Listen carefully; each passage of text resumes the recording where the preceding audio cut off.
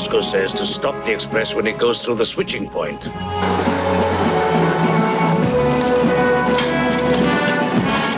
Derail it. That means killing everybody on board. That's what it says. Maybe there's a war. Maybe it's war.